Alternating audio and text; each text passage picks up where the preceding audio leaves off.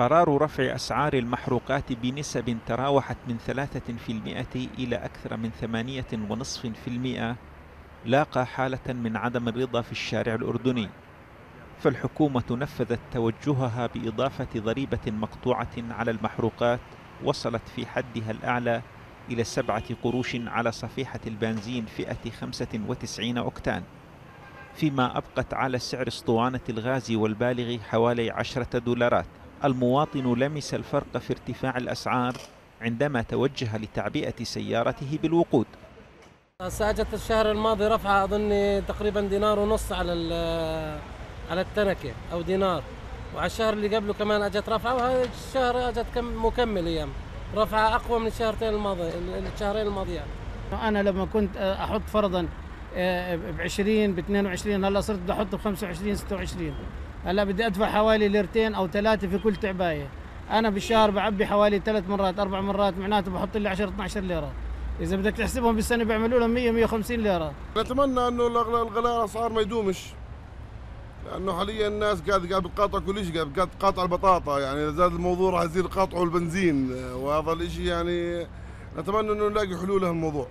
خبراء الطاقة يتحدثون بلغة الأرقام عن حجم المبالغ المتوفرة من فرض ضريبة مقطوعة على المحروقات. ويقولون إن أكثر من 300 مليون دولار ستجنيها الحكومة سنويا بعد تطبيق التسعيرة الجديدة. المجمل الرفع كان أو التعديل الأسعار بالشقيه كان حوالي تقريبا 7.5% إلى 8.5% تحمل الفرق الكبير هو بنزين ال 95 لأنه فرض عليه ضريبة بالكامل دون أن تحتسب ضريبة أو فرق أسعار المشتقات النفطية عالميا. هذه الأرقام بمجملها سيتأتى منها حتى نهاية هذا العام من البنزين بشقيه والكاد والسولر ما لا يقل عن 200 إلى 225 مليون دينار على عدا عن الأسعار اللي ستطرأ بالارتفاعات خلال الأشهر القادمة.